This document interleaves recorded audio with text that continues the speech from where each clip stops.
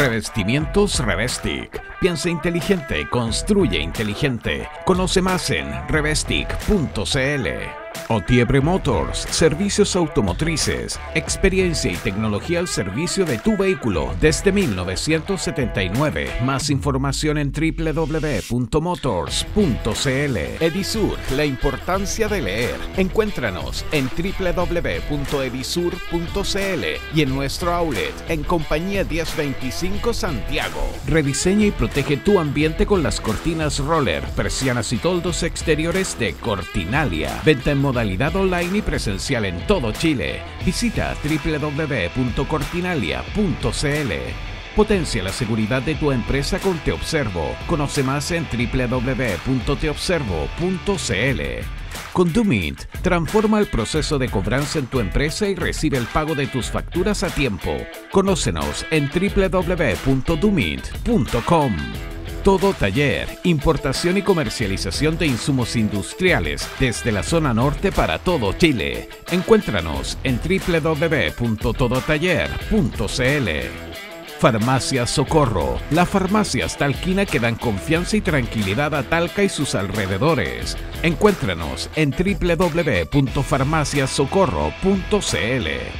Viaja dentro y fuera de Chile a los mejores precios con KM Ticket. Conoce más en www.kmticket.cl. Con inversión global puedes crear tu empresa y tener cuenta corriente en Estados Unidos por solo 1.500 dólares. Ingresa www.inversionglobal.cl. Avanzar, Centro Médico y Psicológico Integral. Atiende en modalidad telemedicina y presencial en la comuna de Ñuñoa. Conoce más ingresando a www.centroavanzar.cl. People Work, la gestión en recursos humanos de tu empresa y colaboradores ahora puede ser digital. Conoce más en peoplework.cl. Marley Coffee, un café 100% orgánico. Conoce más sobre productos y variedades en www.marleycoffee.cl. Marley Coffee, un café para todos. 45 by Director. Atrévete y vive una experiencia única en nuestro hotel elegante, atrevido y sustentable. Presentan Sin Filtros. Hola a todos, soy Gonzalo Feito y como bien saben es día viernes, una de las semanas más intensas, tensas y polarizadas que ha vivido la política chilena. A continuación, te dejo lo más sabroso, explosivo y calentito que pasó en Sin Filtros en el siguiente resumen. Hagamos un poquito de arqueología tuitera. Este fin de semana estaban todos borrando Twitter. A ver, miren, miren un poquito lo, lo que encontramos porque esto estaba todo borrado. Y Magdalena Villar, me gustaría que usted me, me ayudara a leer porque con su voz va a sonar distinto, yo creo, algunos Twitter. ¿ah? ya, a ver, vamos, póngame. Aquí está. Lo empujaron directamente al río, exigimos la renuncia de Mario Rosas, ahora sin más excusa, y comisión civil para reformar estructural a Carabinero. Esta barbarie no puede continuar, Eh, basta. hay una cosa, Gonzalo, bien importante un poco para plantársela a Gustavo. La justicia consideró que eh, ahí en ese caso no, era culpable el carabinero. Claro. Yo no veo a nadie pidiendo perdón. Ponga otra, a ver, ponga nadie. otra. a a ver. A nadie pidiendo perdón. Ahí está, Nicolás Grau, nuestro flamante ministro de. Economía. Sí, claro que mintió. Ah, Esto lo dice, esto lo dice el 20, el 21, 20, el- ahora hace, mismo caso, Paco asesino. El pueblo tiene todo el derecho a odiarles. Derecho a odiar. Ah, el mismo caso, Camila Vallejo. Estamos solicitando unanimidad para realizar sesión especial en la Cámara y poder tratar de manera urgente el terrible asesinato del joven malabarista en Panguipulli y la necesaria caso- intervención civil a Carabineros de Chile. Otro caso que la justicia absolvió. Vamos pidiendo perdón. Cero. A ver, tiene otro, ¿no? Camila Vallejo. Oiga, La ministra Toro, Javiera Toro. Ministra, ¿cuál es la Javiera? Ministra de Bien Bienes nacional. Nacionales. Bienes Bien nacionales, nacional. ya. Amiga del presidente de la universidad. Gravísimo lo ocurrido en marcha de estudiantes de la CONFECH, resguardando el orden público, se debe ejercer siempre con respeto por los derechos humanos y seguridad de quienes se movilizan. Además de responsabilidades individuales, refundar carabineros es prioridad de nuestro gobierno. Lo tuiteó como ministra. Ya. Eh, Euge, Julieta Brodsky, a ver, póngame algo más, más, más incendiario, po. Eugenio, a ver. CTM. Julieta Brodsky. Ministra de la Cultura. Oh, esta léela tú, por favor, Sí. Mervelá, Mervelá. Ministra, eh, Ja, ojo, ja, ojo, ja. perdón, ministra de la Ministra Cultura, de la ¿no? cultura. ¿no? de la cultura. Qué lindo- qué lindo cultura, de la cultura. Ministra Ja, ja, ja. Puta, maraca, pero nunca paca. ¿No será el colmo esto? Es más, por menos A ver, a ministro Rojas Dávila. no lo dejaron ser ministro de la cultura. Por menos, ojo. Ministro de Educación, Dávila. sí, No, sí. Vamos con el ministro de Educación. Ah, ministro, ojo, ministro de Educación. Venimos de la ministra de Cultura, Pacas Culea. Ahora ministro de Educación. Sí, este es de hace 12 Los pacos años. dejan hacer hasta que todo se salga de madre. Luego ingreso estelar y circo para el pueblo. Ganan los noticieros. A ver, otro más, ya, el Sí, último. a este hace sí, 11 ese es más antiguo, ese es más antiguo. No, pero este de cuándo, ¿eh? Once. 2011. Y esto lo dice Jackson ahora, hace unos días atrás. Jackson y tuit de autoridades. ¿Esto lo dijo hoy día o ayer? Hoy, Jackson y tuit de autoridades contra carabineros. Es importante considerar los contextos cuando se analiza lo que cada una de las personas dijo. El Pero el contexto, contexto nuevamente. no les importaba antes. Ojo, eso hay que aclararlo. El contexto, lo- ellos siempre aclararon que no podía haber contexto para una cosa. Yo insisto que el contexto es fundamental. Yo siempre digo, contexto María está en pelota, es un hecho. Pero María está en pelota después de ducharse, es una cosa, y María está en pelota porque decidió hacer un escándalo en la Plaza de Armas, es otra cosa. Y el contexto, por lo tanto, siempre ha importado. Sin embargo, aquellos que hoy día dicen que el contexto importa, antes decían que el contexto no importaba. O sea, háganse ver porque tienen al menos A esquizofrenia. ver, paz. Mira, eh, hay que reconocer que eh, hay dos izquierdas, y ustedes ya lo saben, la gente en su casa lo sabe. pues, estamos eh, claros. Pero eh, hay una parte de la izquierda que, que la ideología nubla la razón. ¿ya? Entonces, y, y- y de esa parte yo no me siento, no me siento parte de esa izquierda.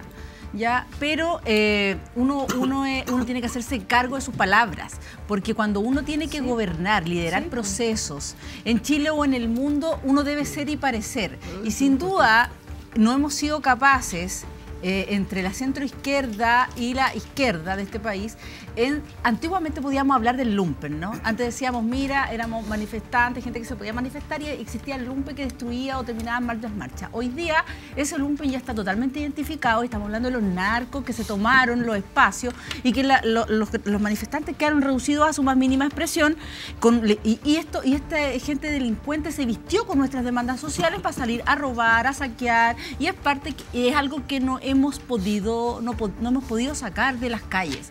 Entonces, cuando aparecen eh, todos, los- todos estos tweets eh, validando, validando la, eh, la evasión, validando eh, la quema de iglesias, validando, porque lo hemos visto a lo largo de todos los programas, todos estos, estos tweets incendiarios que, que eran de parte del pasado, eh, yo creo que eh, es lo que la gente en su casa lo tiene saturado. Y la gente a veces no quiere, no quiere protestas eh, sociales porque no cree. Porque salir hoy día a hacer una protesta social para muchos es incomodidad y, y lamentablemente para mí salir hoy día a hacer una a, a manifestarme que está dentro de lo que yo eh, mis derechos como militante también de un partido político también me asusto pues me asusto porque yo puedo ma- marchar con mis hijos y resulta que me encuentro tú, con un tú- grupo tú de personas locales en el centro. yo tengo un local en, en el Metro Salvador, local que tuve que despedir, no sé, tres, cuatro personas, que nunca más he podido abrir, porque se volvió una batalla campal. Por lo tanto, todos los comerciantes de Plaza Italia, los comerciantes, los comerciantes de, 800 Sa- de locales tuvieron que Salvador, del- o sea, eso se volvió en una, en una, en una batalla, en un campo de batalla donde perdimos capital, donde fuimos saqueados los comerciantes. O sea, Terrible. claramente no queremos una marcha en esa línea. Pero ¿cómo lo solucionamos hoy día? Carabineros no tienen las herramientas, y perdóname, pero Carabineros no es Robocop. O sea, de carne y hueso, le duelen las piedras igual que a todos. Entonces, cuando empezamos a balear, le tirarle piedra a un carabinero, ah, en, en- en- en el lodarlo, eh, patearlo en el suelo. O sea, hemos visto cada estupidez en, en la calle, un skate, una vez le partió la cabeza a un carabinero, maltratando carabineras mujeres también en la calle. O sea, cuando Hay que, vemos... hay eh, que condenar cuando ellos maltratan, como cuando son Claro, maltratados. claro, Eso pero, pero sí, nadie está quitando la responsabilidad de los maltratos que incluso a veces sabes que ni siquiera son de, lo- de los funcionarios de, que están en la calle, porque las personas que compraron los balines, por ejemplo, para poner el contexto de los balines de, de goma que dejaron a muchos jóvenes sin ojos, alguien compró y ahorró plata en el Estado y compró balines no de goma, sino de metal. O sea, ¿por qué estamos culpando a un carabinero que tú le pasás un arma y le decís, toma, ahí tienes tus armas con balines y resulta que el, el gallo que compró los balines no eran nada de goma? Pues yo como funcionaria o como empleado creo que son de goma. Oh. Entonces, claramente aquí hay un mal comportamiento Gabriel, del ¿usted alto mando. Yo creo que a tres años de, de distancia hay que tomarse las cosas con un poco más de perspectiva, ¿no? Eh, yo creo que el, el proceso del 18 de octubre eh, le tocó a este país en un momento de, y aquí algo se ha dicho, de debilitamiento en institucionalidad muy fuerte. Ah, nos pilló con carabineros muy debilitados, saliendo del caso Catri- del caso Huracán, primero del caso Catrillanca, después, y aquí todos los gobiernos tienen responsabilidad. Claro, entonces, eh, eh, exactamente, el Pago Gate, que, que eran 30 mil millones de pesos, por lo tanto, eso obviamente pilló a Carabineros en una situación también, y digámoslo, donde Carabineros se encuentra con una explosión social muy fuerte, con delitos directamente, o sea, con gente que fue a cometer delitos con garras bravas, con eh, el narcotráfico muchas veces detrás, con algún grado de organización o no de organización, la verdad nunca se pudo saber bien, debido creo yo a la falta de inteligencia que tiene este país, de sistemas de inteligencia lo suficientemente robustos. Desde el año 2000, 2004, que se aprobó la ley de la ANI, no ha existido una, una ley de inteligencia que permita eh, detectar este tipo de movimientos. La ANI es- esa semana detectó eh, movimientos anormales, pero tampoco eran movimientos anormales que tenían que ver con, los, con, el, con el salto de los torniquetes. Y yo estoy de acuerdo con, con, eh, con eh, La Paz y con, y, con, y con mi amigo el senador eh, Fidel Espinosa. Hay una izquierda que no está de acuerdo con eso y que tampoco estuvo de acuerdo en ese momento. Ahora, muchos cometimos errores también.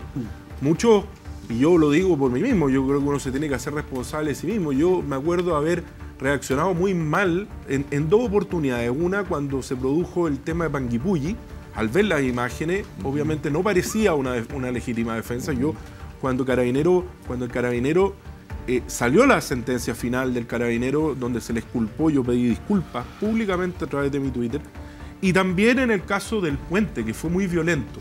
Ahora bien, hay una parte de la izquierda que es parte del gobierno, porque la izquierda hoy día está básicamente dividida en varios pedazos. Un pedazo que estuvo en el rechazo, donde estoy yo, un pedazo que está en el gobierno y que es una izquierda absolutamente democrática, y una izquierda que tiene una romantización por la violencia, porque yo quiero recordar que cuando se asumió en este gobierno, una de las primeras actitudes que tuvo este gobierno, el presidente Boric y la ministra del Interior, Isquia Sichá, en ese momento, fue retirar las querellas por ley de seguridad interior del Estado. Fue promover el indulto en el Congreso Nacional de aquellos que eran presos políticos en ese momento. Entonces, la variación que ha tenido el gobierno en esta materia ha sido muy brutal, cuando se ha ido dando cuenta que le queda poco espacio en la cuenta corriente para poder seguir girando en torno a la seguridad pública. Y ojalá sea, yo, yo tampoco quiero condenar a alguien como el ministro de Educación por un Twitter que puso el año 2011, me parece poco razonable. Me parece que todos podemos tener momentos de arrebato también. Sí me parece que hay algunos ministros que, no sé, el ministro Cultura. Grau, el ministro Grau, la ministra de Cultura, el año pasado me parecen un poquito más, más complejos. Además, como un llamado como no sobre algo en concreto, sino eh, pagos no sé cuánto, eh, eh, eh, usted- a ustedes, te la, gente tiene claro. derecho a odiarlo. Yo creo que eso es casi como un llamado a... Entonces, creo que hay una cierta izquierda, que es el Partido Comunista, que es el Frente Amplio, que sí tienen una romantización de la violencia, la tuvieron durante mucho tiempo, y yo espero que lo que dice el presidente sea efectivo y que no persiga como perro chihuahua, sino como un Rottweiler la delincuencia, porque lo que estamos viendo hoy día, que no es algo que sea solo responsabilidad de él, tiene una gran Ya. responsabilidad. Él hoy está a cargo del orden público. Sí, sí, eh, un poco sobre la comunicación, que es de lo que yo prefiero hablar aquí para enfrentar estos, estos temas de las redes sociales. Primero, el contexto es uno de los ocho elementos que habitualmente se citan como los elementos de la comunicación. Ustedes eso lo, lo- lo han visto, como el emisor, el ruido, el canal. El contexto, por supuesto, es un elemento. Hay texto y hay contexto. Sin duda, hay como el ejemplo que daba, que daba Magdalena con, con María sin ropa, digamos. ¿Ah? Entonces, evidentemente que eso influye. Pero sobre todo lo que influye en las redes sociales y es lo que ha generado que hay, hay gente que dice que las redes sociales han destruido la democracia. Ustedes seguramente han escuchado eso también. O, o- o- o han provocado todo tipo de, de desastres en la convivencia. Es que es la reacción emocional. Nosotros cuando nos relacionamos con las redes sociales lo hacemos de una perspectiva muy emocional y esto no es casual.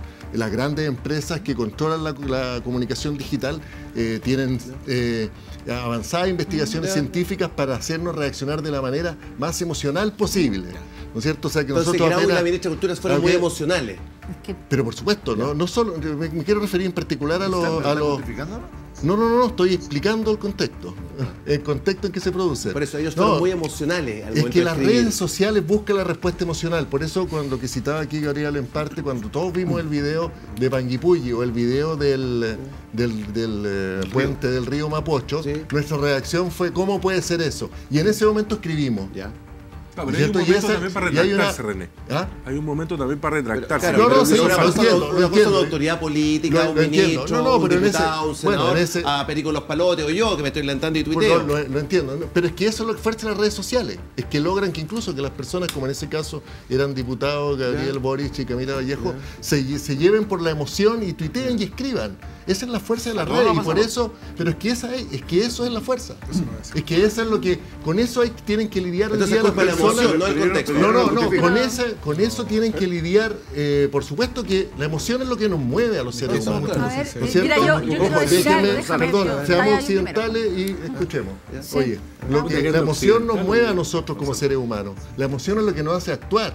La emoción es lo que nos hace salir a la calle, la emoción es lo que nos hace reaccionar, Sí, pero no ¿no es cierto? Pero es Yo- que lo que tienen, la fuerza que tienen las imágenes, eso, eh, las imágenes te lleva, no, no, por supuesto, no, con la cabeza fría, Pero- con la cabeza fría uno puede decir, y por eso, y por eso las autoridades hoy día, aprovechando que hay autoridades aquí presentes, ¿no es cierto?, tienen que saber navegar en aguas profundamente emocionales. Y por eso es tan difícil también gobernar y mantener una coherencia, ¿no es cierto? Ese es el mundo en que vivimos hoy, ¿no es cierto? Un mundo de, de altísima emocionalidad y donde después a lo Ah, pero mejor entonces no, hay no, que... no, no bloquea tus redes. hay que, pues. bueno, ahí tenés que ver tú qué haces. Mira, claro, tienes que ver cómo te manejas. ¿ah? Pero ese, Fidel, ese es el escenario, ese es el escenario donde se mueve, Fidel y después voy- ese es el escenario, lado. yo ese es el oye, escenario donde se mueve la pero política. cortito, Cortito, lo que pasa es que eh, en la línea de lo que dice de la emocionalidad, uno también tiene que tener una cuestión que se llama consecuencias.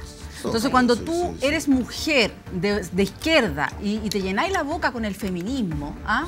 no podéis salir con un Twitter de ese tipo a atacar a otra mujer, independiente po. del rol que cumpla esa mujer. La mujer hoy día puede hacer, y muchas hemos peleado, que las mujeres podemos hacer lo que queramos, en, en nuestro espacio son nuestras decisiones, pero cuando tú salí, te llenáis la boca con feminismo, que es lo que ha hecho muchas mujeres, y esto es la inconsecuencia y pasa de lado a lado, ¿ah? pero pasa mucho en los partidos políticos, que las mujeres tienden a ser las peores enemigas de mujeres, más que los hombres. ¿ah?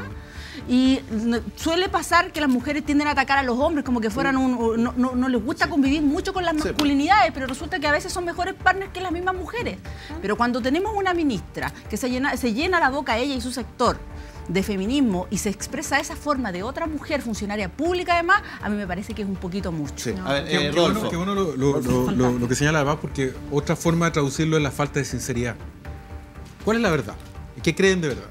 ¿Los derechos de las mujeres solo son para las mujeres de izquierda y el resto no? Exacto. exacto. ¿El derecho de las minorías solo para las minorías de izquierda, pero no para los que pueden ser de minorías de otro sector? Porque en esto del- del- de los tweets y de, y de los discursos de odio que se generaron en este periodo, sin duda pueden haber elementos pasionales. Pero un político de primer nivel, como Gabriel Boric o Camila Vallejo, no están en ese rango. Son políticos profesionales. Estamos hablando de personas que tienen responsabilidad ejecutiva de, primer, de primera magnitud. Ninguno, ni el senador ni yo tampoco estaríamos habilitados para salirnos de madre porque estábamos enojados ese día. Somos pagados por los chilenos para representarlos con sentido común y por sobre todo con sobriedad. Si nos equivocamos, pedimos disculpas. Esa es la única excusa que tenemos que tener, pedir disculpas. El punto es, ¿por qué esta falta de sinceridad? Porque en el fondo, estos tweets más violentos fue en, en la mitad de la refriega o la revuelta, cuando muchos soñaron con derrocar a, a- a Sebastián Piñera. Hubo una intención de voltear al gobierno de Piñera, se coqueteó muy cerca, estuvieron muy cerca de lograrlo, y eso es un pecado muy profundo para cualquier demócrata. Jugar a derrocar a un gobierno legítimamente electo, aunque te cargue, no es aceptable en democracia. Y lo segundo, y le doy prueba de lo que estoy diciendo, si eran sinceros, ¿por qué el señor Boric no ha presentado ninguna querella en contra de Sebastián Piñera? Cuando en el debate presidencial le dijo, señor Piñera, vamos por usted. Son de cartón. Era solo para ganar votos. Una vez en el poder, el discurso cambió de nuevo. Eh, Fidel. Mira, so- eh, respondiéndole a la- al alcalde Rodolfo, eh, señalar muy claramente, aquí tenemos dos almas, ¿no es cierto?, en, en la izquierda. Yo, yo siempre he contado mi historia porque fue la historia que yo viví. Con los carabineros dentro de mi casa apuntándole a mi madre cuando yo tenía tres años y mi hermano tenía nueve, diez. Yo jamás podría decir eso de carabineros. Porque son otras generaciones. No fueron los que violaron los derechos humanos. Entonces yo siempre he dicho que el respeto tiene que darse irrestrictamente, pero también tenemos que tener la plena claridad de que el gobierno tiene que actuar con firmeza. Yo por lo menos jamás en la vida hubiera tolerado que el director de Metro haya sido nombrado por el propio gobierno después de lo que escribió. Porque fue, incitó a situaciones que fueron lamentables para el país. ¿Usted a cree la que violencia. tiene que renunciar? Porque, pero, no, o sea, la mínima lealtad que debería tener con su amigo presidente es renunciar. La mínima lealtad igual que el embajador de España. Con sus dichos, con sus, con sus planteamientos. Pero eso es lealtad. Cuando tú eres amigo de alguien y cometes un error de ese tipo, porque yo comparto con Pablo lo que, lo que ha dicho muy bien. Aquí muchas se llenan la boca con el feminismo. Pero toleraron eso. Yo no vi a nadie saliendo a decir nada de la ministra de Cultura que trató de esa manera a las funcionarias de carabineros que cumplen, que son muchas de ellas madres también, que dejan a sus hijos. ¿Tiene doble estándar la ministra de Cultura? Entonces ahí, más que ella, yo creo que una, una parte del alma del gobierno tiene un doble estándar. ¿Llega solo hasta los mandos medios o el jefe del Estado también tiene este doble estándar? Ay, mira, yo, yo al presidente Boric le tengo harto respeto, fíjate, y yo, yo diría que él, ¿no es cierto?, eh, tiene la, la mejor intencionalidad, obviamente, de que, de que esto no se desborde por este tipo de situaciones, que no se, que la, la agenda no se, no se vaya para otro lado por sus actuaciones, pero ya venimos semana y semana con una semana tras otra, un ministro, un embajador, un min- y no lo dejan gobernar. Cuando la gente, ¿qué es lo que quiere? Presidente, se lo digo con respeto. Que nos aboquemos a los problemas de hoy día del Chile real con la inflación, la gente la está pasando horrible, horrible, y todavía no lo entienden. Tenemos que tener reforma a las pensiones, mejorar todo lo que hay que mejorar en el país y también la seguridad que, que es el, el- el alma, creo yo, de lo que la gente nos dice cuando recorremos, disculpa Gonzalo un, un segundo, cuando recorrimos nuestras poblaciones, el campo, eh, sobre todo las ciudades. La gente nos dice que queremos vivir en paz y tranquilidad. Obvio. Y eso obviamente no está ocurriendo hoy día. Pancho Rego, Sí, a, a- a tres años de, de esta revuelta social, yo creo que lo que nos corresponde a nosotros es hacer un análisis serio. Y cuando hacemos un análisis serio no podemos dejar pasar cosas que de plano son mentiras, como se han planteado en este panel.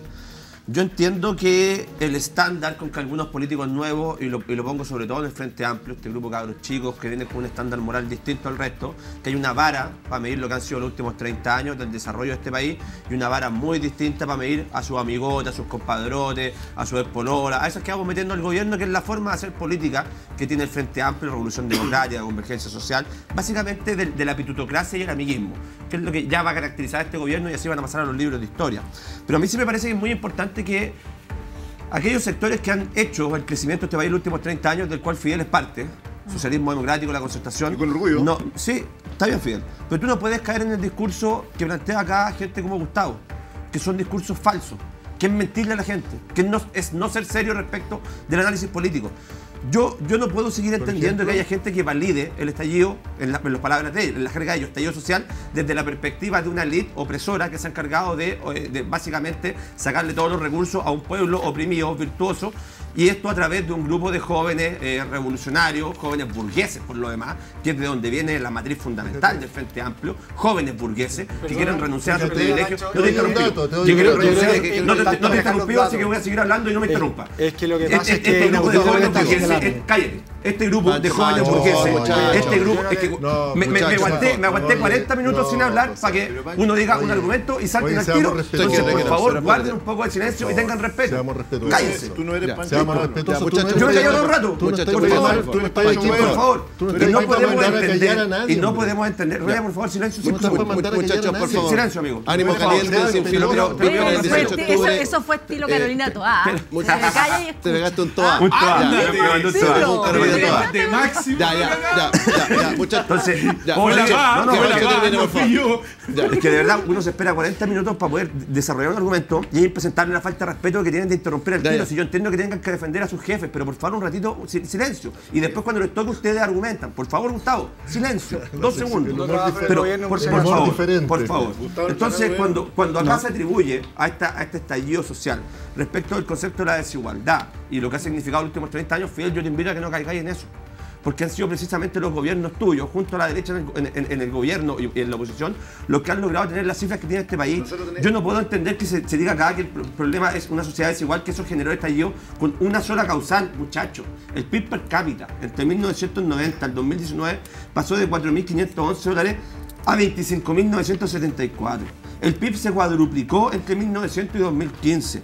La pobreza pasó de un 50% a menos de un 10%. Y de ¿Qué hecho hay un periodo en particular, que es entre 2006 y 2017, donde pasamos de un 29 a un 8.6 de pobreza. El ingreso de los más, por favor, dejen de mentir, el ingreso de los más pobres del 10% pasó de 2002 a 2017, creció en un 145% real. Déjense de mentir. El Gini pasó de un 0,54 a un 0,45. Déjense de mentir. El gasto en educación se triplicó y cuadruplicó. Por favor, déjense de mentir. Los informes del PNUD establecen que el índice de desarrollo humano de Chile es alto o muy alto. Por favor, déjense de mentir. El promedio de ingreso PIB per cápita de Latinoamérica es de 12.745 cuando en Chile están los 22.000, 23.000 dólares. Por favor, déjense de mentir. Eh, y, Gustavo. y Fidel, el Eh, llamado es para ustedes. eh, Gustavo. Si ustedes son los responsables dentro de este gobierno, yo no espero que este grupo de cabros chicos venga a cambiar su opinión de un día para otro, porque no son capaces ni siquiera de pedir disculpas cuando la joden a través de redes sociales. Yo le hablo a ustedes, a los que tienen seriedad en la política, para que se hagan cargo de administrar este gobierno, que muchachos, está en un 27% de desaprobación. Citando a mi amigo Osvaldo Andrade, Chile no se merece un país que tenga ese nivel de desaprobación. 65% Ya. Eh, cuando Gustavo, Gustavo, yo creo que- Protege y rediseña tus ambientes con las cortinas roller y persianas y toldos exteriores de cortinalia.cl, donde podrás personalizar medidas y colores de tu cortina roller. Por compras online tendrás un 60% de descuento. Y si usas el código sin filtros tendrás un 10% adicional. El envío sin costo a todo Chile continental. Si prefieres que Cortinalia se haga cargo también de tomar las medidas e instalar, agenda en línea la visita de un experto. Más de 120 distribuidores a lo largo de todo el territorio nacional. www.cortinalia.cl Si estás pensando en construir o remodelar tu casa, piensa inteligente, porque la inteligencia es sexy. Entra a revestic.cl donde encontrarás todo lo que necesitas en revestimientos inteligentes para muros interiores, exteriores, pisos y cielos. Ecosustentables y de fácil instalación. No pierdas la oportunidad de dejar tu casa como quieres, sin gastar de más y trabajando menos. Entra a revestic.cl y conoce toda la línea de productos. Seguro que hay uno para los que estás pensando. Revestic, piensa inteligente, construye inteligente. La verdad es que a mí me encanta Edisur.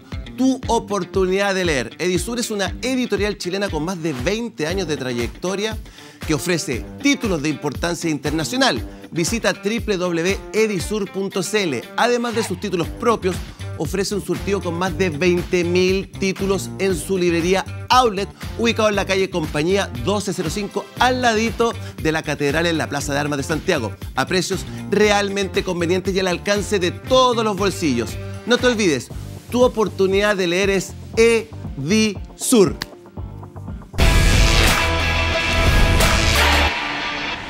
¿Sigues cobrando tus facturas con teléfono, lápiz y papel? No sufras más. Deja todo ese trabajo a Dumin y transforma tu proceso de cobranza hoy. Con Dumin podrás enviar recordatorios automáticos con link de pago en línea para tus clientes, conectar tu banco para una conciliación bancaria inmediata, saber en tiempo real cuánto te deben tus clientes gracias a una reportería de primer nivel. Y por si fuera poco, tenemos una gran noticia si eres pyme. Llévate un 50% de descuento por tres meses contratando durante el mes de octubre. Pide tu demo gratis en duemint.com, tal como se escribe abajo.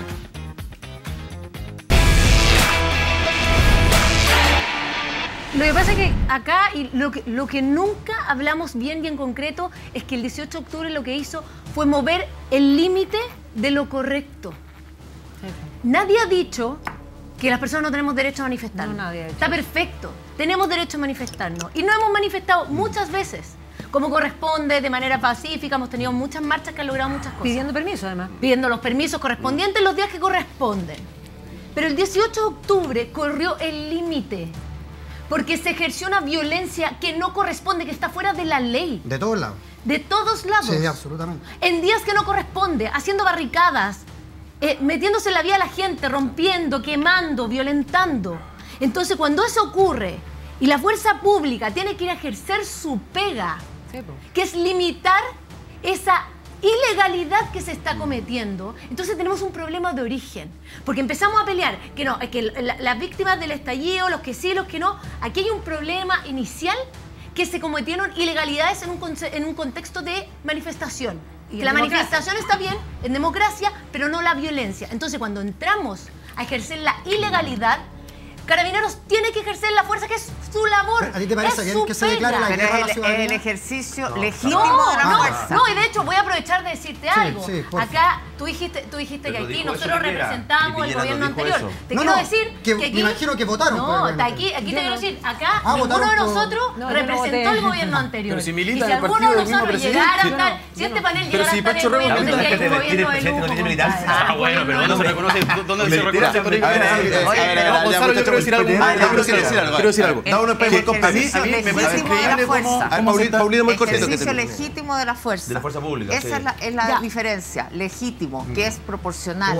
Ah, no es un ejercicio Estoy de abusivo de la acuerdo, fuerza. eso está- estoy- espérate, déjame terminar. Sí. Eso está en investigación y, es- y es- y es ver- y es- está perfecto. De que se cometieron errores o Por supuesto, y tener que violaciones a los derechos humanos, Abusos, pasaron, abusos, pasaron. Y, y- y la ley está para eso, el, el- el- el- el tribunal está para definir eso. El tema es que nosotros también tenemos que defender a quienes salieron bajo un contexto en el cual se estaban violentando todas las leyes pacíficas de nuestro país. Entonces, tenemos que tener un poquito más de criterio y decir, ¿sabéis que mandamos a nuestros policías Pero no tomemos la a, parte a por el a un- todo. en a el una situación que era incontrolable. Pero esto es un poco, Entonces, poco, que me sigamos un poquito a mí me más inaceptable- con la a mí me policía y con la ciudadanía. Me parece inaceptable Da uno- cómo, da uno cómo- y Ricardo. cómo intentan reescribir la historia. Eh, porque No, que ahora todo se trata, ahora todo se trata, ahora todo se trata de, de- no de la violencia, de las quemas, etcétera, etcétera, y se olvidan de que aquí hubo un estallido, una rebelión, producto de 30 años que fueron cuestionados porque en la medida que un, ¿Por pe- pues, un puñado se enriquecía, un pequeño cargo. sector se enriquecía a costa del saqueo del país, una gran mayoría le eran negados los derechos, eh, se entregaban pensiones de hambre, salarios que no alcanzaban a fin de mes, había eh, la- eh, listas de espera en los, en los hospitales y la salud pública, y había gente que moría años esperando ser operada, por poner un ejemplo. Y ahora están mejor. Entonces se cuestiona y se trata de, de reescribir como si no hubiesen esos sido los motivos, sino que es solamente un estallido de violencia y se olvidan de la marcha de un millón de personas. No sé si alguien de acá al, frente estuvo en esa marcha, yo sí. y estuve, millones, y tres estuve millones a nivel nacional, yo estuve permanentemente movilizándome y vi cómo fueron las protestas. Y después no Se trata de, los de- ocho de- de la violencia incontrolable. Mira, a mí me trataron de meter preso por algo que dije en una asamblea. Fabiola Campillay salió a trabajar y la dejaron ciega. Omar Jerez lo metieron preso 17 meses en la cárcel de máxima seguridad, en una celda donde no podía salir, evidentemente, a ningún lado, ni siquiera al pasillo prácticamente, por un- una cuestión que él no cometió. estaba y eh, te voy a hablar de Alex Núñez, para no hablar de cifras. Alex Núñez era un trabajador de Maipú, déjame con esto cierro, era un trabajador de Maipú que el día 20 de octubre, domingo, había ido a dejar unas herramientas para un trabajo, las estaba volviendo a su casa del Metro del Sol y fue abordado por tres funcionarios eh, de la policía de la 25 Comisaría de Maipú que lo patearon y lo golpearon hasta molerlo por dentro. Y 24 horas después aproximadamente falleció porque, según dijeron los médicos, lo habían molido por dentro. ¿Qué pasó ahí? Hay un pacto de silencio en la 25 Comisaría de Maipú con acusaciones cruzadas y no es justicia. Entonces, esa fue la represión. Y a mí lo que me parece además inaceptable e inaudito es que este gobierno haya permitido que haya continuidad. Porque Boris primero dijo que estaba avisado Sebastián Piñera, luego se cayó la boca y además mantuvo en su puesto a gente como Ricardo Yáñez, que está imputado para ir a declarar por responsabilidad de mando en casos de apremios ilegítimos. Ricardo, Entonces, eso es inaceptable y además ahora saca 25 mil carabineros a la calle y da, eh, Ya, le ceden toda la derecha en un hilo ¿Podemos de hablar por acá, favor? Poquito, un poquito. Yo creo que es, irónico, es inaceptable que tú imputes de que nosotros estamos pretendiendo escribir la historia. Primero porque No, no citas a. Human Rights Watch cuando José Miguel Vivanco, director, fue el primero que dijo que era irresponsable inferir violación a los derechos humanos por los acontecimientos delictuales que ocurrían el 18 ¿Y de octubre. dice? Lo segundo, ¿Qué dice el informe? yo como convencional integré la comisión de preámbulo de la convención constituyente. Una comisión de preámbulo donde el nudo más importante que hubo fue un párrafo donde el exceso de tu sector pretendía reivindicar la la violencia del convención. 18 de no octubre como una gesta heroica. Casi como el primer bando del 11 de septiembre. El 18 de octubre fue un movimiento juvenil, una gesta heroica. Entonces, esto de reescribir la historia. Entonces, ¿qué acabamos fue? de tener- ¿Qué fue entonces? Pero Dauno, por favor, te pido que me dejes desarrollar. mí Yo te he también me escuchado atentamente. todo el rato, Entonces, imputar un intento de reescribir la historia cuando acabamos de vivir dolió, un dolió, proceso constituyente totalmente refundacional, que incluso la idea de nación la puso sobre la mesa y el 18 de octubre lo trataba de reivindicar como gesta heroica, me parece que es insólito y una falta de respeto de tu parte. dolió, y lo último, a propósito del, del- del- del presidente, que se haga cargo el presidente de este mundo al revés que estamos viviendo, donde las personas honradas están muertas de miedo tras barrotes en sus casas y son los delincuentes por el clima que se generó el 18 de octubre, los que están afuera vivitos y A eso coleando. me refiero con El presidente historia, decía, y con esto termino, por favor. El presidente de- de- decía, oye, los malestares siguen vigentes como si, por- como si fuera eh, una labor pendiente de su gobierno el resolverlo. Los malestares siguen pendientes y siguen peores por culpa de su gobierno. 58% de la ciudadanía cree que el 18 de octubre generó impacto negativo. 83%... Pero espérate, ¿el gobierno del 18 de octubre? Ahí estáis haciendo una mezcla, 83, unos sí, cruces pero medio- el discurso del gobierno trataba de justificar estas cosas. El gobierno está peor. Las necesidades de la gente están peor hoy día. Exactamente, sí, 83% porque hubo un dice que el país también. no ha avanzado desde el 18 de octubre. 86% dice que la destrucción no era necesaria. 66% dice que no se abordaron efectivamente los derechos sociales. 93% dice que la delincuencia está peor. 90% dice que la violencia está peor. 75% dice que la economía es un desastre con el presidente Boric, la inflación y lo que se nos viene por delante. Pero el si ellos son del económico. gobierno, míralo a ellos. ¿Qué tiene que ver con 50% Boric? dice que allá, el gobierno, lo no asume. Lo del gobierno pa' allá. Te pido que me escuches, por es favor. Que el 11. gobierno no asume, no asume su responsabilidad ni se hace cargo de este mundo al revés. Entonces, el que pretende reescribir la historia aquí, Dauno, eres tú, lamentablemente. Ya, ¿Y qué tengo que ver Pepe yo Toro, con el Pepe gobierno de Toro. Boric? Yo creo que la gente Ni lo siquiera que lo nos llamé a pide es tener un mínimo de decoro para analizar el proceso de octubre, Sí. que parte el 18 de octubre. Y hay que separar dos cosas. Una cosa es la violencia de algunas manifestaciones que se ocurrió, otra cosa es que también nuestras policías estuvieron, fueron sobre... eh, fueron sobrepasadas por los hechos porque no Sí. teníamos la capacidad correspondiente para enfrentar los tipos de eh, violencia que se generó. Pero eso es muy distinto a las legítimas reivindicaciones porque efectivamente la gente, cuando uno va a la marcha, yo fui a la marcha de un millón de personas, y eso no tiene un sector político, no es de izquierda, no es de derecha, eran marchas completamente transversales, sí. porque eran reivindicaciones que son justas. Entonces, ningún sector político puede adueñarse de ese hecho. Ninguna. Y lo que nosotros tenemos que tener es un deber de cómo lo reflexionamos. Efectivamente, el acuerdo del 15 de noviembre fue para darle un cauce constitucional a una salida, ¿no? Darle salida al estallido social. Que hay sectores de la extrema izquierda que no les gustó porque no estaba en favor del pueblo. Bueno, ellos dicen representar al pueblo. ¿no? Claro. Pero era una manera de conducir y darle una salida a un proceso que para todo nuestro país fue complejo. Pero, ¿cómo entonces hoy día la historia va a, va a interpretar el 18 de octubre, todo el proceso del 18 de octubre? Pepe, pe- por favor, Pepe, es que la pregunta es, ¿cómo ustedes, como socialismo democrático, se van a hacer cargo de la responsabilidad política? ¿Qué tesis van a seguir como gobierno? Si esa es mi pregunta de, de- de- de carácter político. Yo, Yo te tengo un gobierno, contestar Pepe, desde tengo mí. un gobierno que está, que está por el Frente Amplio, el Partido Comunista, donde tenía a Carmen Gera, a Tomás Hitch, a Camila Vallejo, señalando que va quedando en el centro de tortura. Lo mismo la, lo mismo la vea Sánchez. Pancho. Habían declaraciones de Maíz Torsini que decía, Pancho, ¿cuál es yo el problema con esas cositas que perdieron las pymes?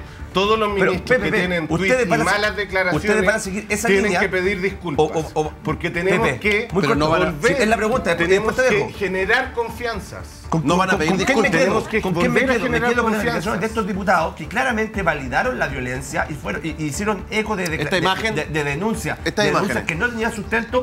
O nos quedamos con la declaración de tu senador. Este es el octubrismo de en La Serena. Que señala que hay que pedirle disculpas a carabineros. Pero claro. Entonces, la pregunta Pero, de fondo, muchachos, es es que- socialismo democrático. ¿Hasta cuándo va a aguantar que este grupo de cabros chicos les venga a pedir los votos, pero cuando hay que defenderlos públicamente ustedes, se hacen los locos y les quitan piso? Pero Pancho, es que pero entendamos bien el mensaje del presidente. Si yo, Si no yo, yo eh, entiendo, yo entiendo en que la solo el punto está hospital de puesto, Quillota. pero cuando parte el presidente diciendo, mira, esto no es ni una revolución, ¿no? ¿Qué Es es? decir, le está hablando a la izquierda que esto no es una revolución. La izquierda se enoja con eso. Esta- porque esta si es una revolución. A ver, miren, Es que no esta, es una esta- esta- es una, fotografía emblemática. Mira, podemos debatirlo. Este es un hotel, este es un Mira, hotel que asaltan, Sí, que por lo eso rompen quemaron, entero, lo quiero- queman, Suave, sacan las, tum- rico. las tumbonas, se toman fotos, toman cerveza, Avenida del Mar. Yo quiero decir que esta gente, yo dudo mucho que sea gente de izquierda, de centro izquierda. Yo creo que esta gente es lumpen. Gonzalo. Es lumpen, son, son delincuentes. Eso yo creo que- que es Ya, y que además están haciendo ahí mofa. Mira los gestos. Es gente que está totalmente tiene nada fuera que ver con esa gente pacífica. a eso, Estamos a de eso acuerdo, estoy sí, ahí, hablando. Entonces, estamos de acuerdo con ¿cómo? eso. De acuerdo, Nosotros vamos a defender lumpen, vamos a defender gente que es delincuente, que lo que quería hacer era quemar, a destrozar, a Sí, pues. vandalizar.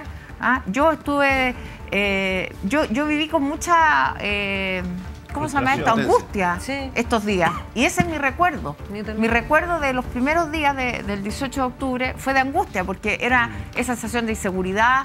De- yo tengo cabros chicos, mis hijos lloraban. Pero había- pasaban los pero había otro sector que parece que no- no tenía entonces, angustia. Para mí no es un recuerdo que yo diga, hoy fueron días eh, preciosos. No. Ahora, tampoco hay que pensar, yo creo que lo que, no, lo que tenemos que de verdad abordar es por qué esta gente está ahí.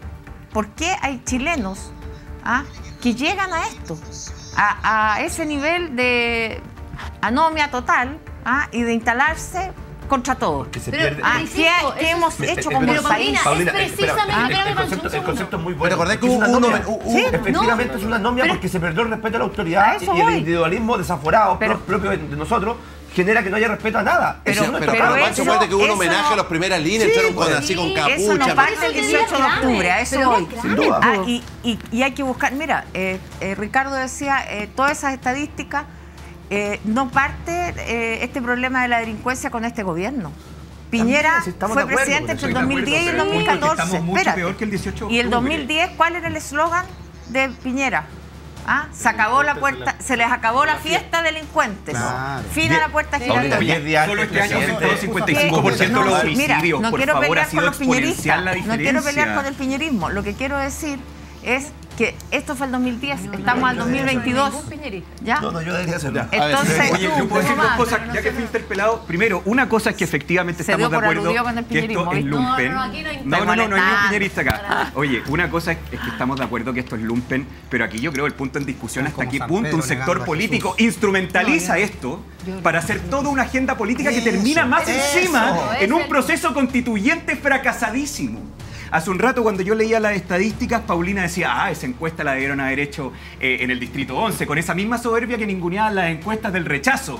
No sea soberbia, esto es la opinión de ciudadanos chilenos de Arica Punta Arena que sienten que hoy día, a tres años del 18 de octubre, Gonzalo. estamos peor. Gonzalo. que esa famosa, con esto termino, Porfa. que esa famosa dignidad con la que hacían gárgaras, con la que le pusieron a la Plaza Baquedano, en realidad no era dignidad. Era delincuencia, era la- era crecer electoralmente, era un presidente, e Boris, era el presidente. No es para hacer gárgara, Era- es una- el era- primer artículo de la Constitución Estoy de acuerdo, Pinochet. estoy de acuerdo jurídicamente, pero Ya, el concepto pero solo para terminar por favor. Ya, Ricardo. no, Déjame terminar el punto. Muchachos. Si hablamos Oye, todo al mismo tiempo, el- Ricardo. Sí, por, por lo mismo, por lo mismo déjenme terminar. Eso dejo. Oye, Ricardo. Dignidad es el valor intrínseco de la persona, pero el concepto cultural de dignidad que ocupó el octubrismo era como Material. el cajón desastre, donde aquí están todos los sueños que van a lograrse a través de un proceso constituyente. Fue un mecanismo narrativo esta famosa dignidad. Y a, y a- y a tres años de esa promesa del octubrismo soberbio sobre la dignidad, vemos que todo está peor. Vemos que se le ha dado toda la ciudadanía menos dignidad. Y eso no tiene que ver con el lumpen, tiene que ver con la capacidad que tiene el sector que instrumentalizó y aprovechó al lumpen Obvio. para hacer su agenda Ya, política. ok. Yo creo importante que no, que no perdamos. Ya, vos, Daulo, nos deja hablar. Como he hablado todo el rato, me van a dar la palabra a mí. Yo creo que es súper importante que no perdamos el foco en el hecho de que la violencia que ocurrió el 18 de octubre, hace tres años atrás, fue un método que usó un sector de la política para poder llegar al poder. Hay, hay, hay razones demasiado justificadas para que la, la población pide exigencias que no se han llevado a cabo durante muchos años y que el país necesita mejoras, cierto. Pero se organizó una violencia, se provocó una violencia que benefició a un sector político que fue el Frente Amplio y el Partido Comunista. Recuerden que Gabriel Boric no tenía ni los votos para poder ser partido, para poder postular a la presidencia. Y después del 18 de octubre consiguió todas las firmitas. Y ahí llegaron, y ahí llegaron a ser gobierno. Recordémonos, si fueron los únicos que ganaron. Y el tema es que con todo esto, porque además, bajo sus propias declaraciones, no tenían la capacidad de gobernar. Lo dijeron todos, no la tenían. Y llegaron igual. ¿Por qué? Por ansias de poder.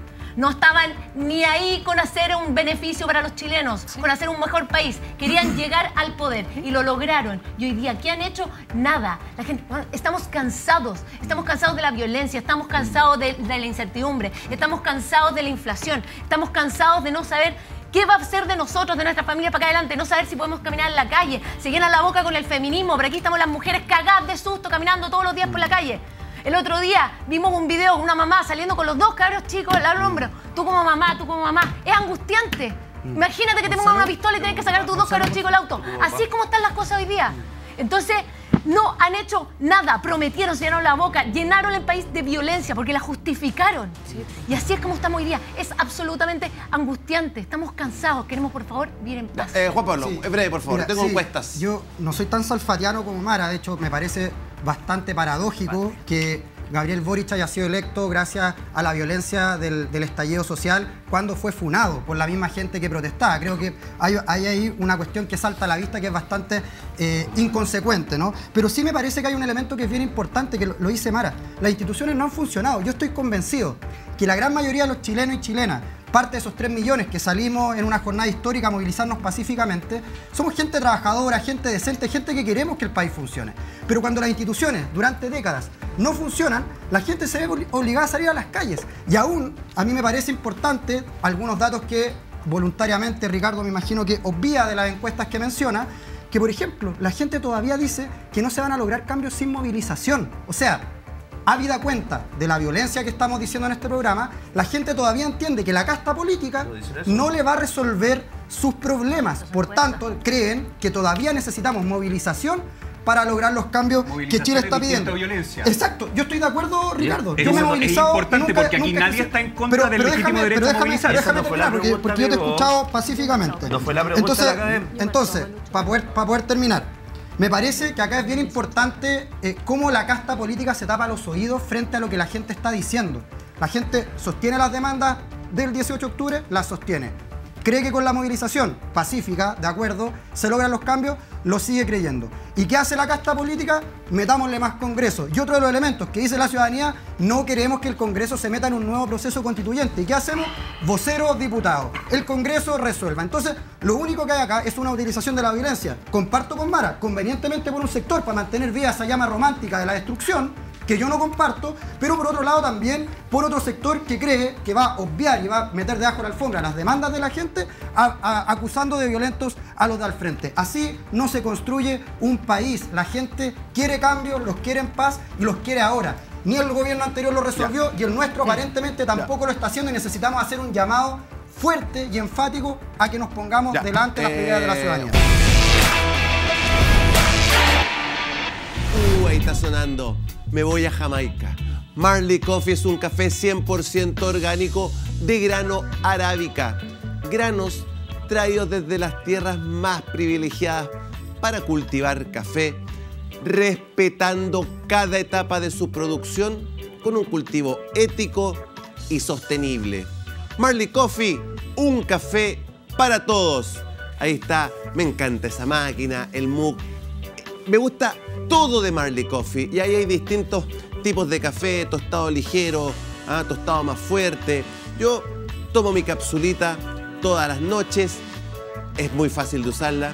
Aprieto un café grande me voy a tomar y miren cómo empieza a caer ese café respetando cada etapa de su producción, como les venía diciendo, con un cultivo ético y sostenible. Marley Coffee, un café para todos. Y ahora tengo que saludar a mis amigos personales. Firmar documentos es fácil cuando recursos humanos de tu empresa está en PeopleWork. No importa dónde estés, con el módulo de firma digital PeopleWork podrás firmar y validar tus documentos en un solo clic. Tu firma quedará validada legalmente y de manera segura a través de un código QR. Además, podrás organizar tus documentos y recibir notificaciones sobre pendientes. Listo, documento firmado. La digitalización de procesos es con, escúcheme bien, People Work. Lo que no, no corresponde en un panel de televisión caer en argumentos de posverdad, Gustavo. Yo sé que tú tienes la obligación eh, moral, ética y política de salir a defender a tu gobierno, porque hay que buscar de alguna forma subir ese 27%. Déjame terminar, no me interrumpa. Luego, No yo creo que es muy grave que estar en un panel mintiendo públicamente. Yo creo que es muy grave estar en un panel mintiendo públicamente. Y te voy a enumerar las mentiras, para que vayamos una por una. Me parece muy grave, pero muy grave, que un colega, colega mío, no respete un derecho humano básico, como lo es el principio de inocencia, y un principio básico en democracia, como lo es la separación de poderes del Estado. Gustavo, ejecutivo, legislativo, judicial. Ya, básico, república.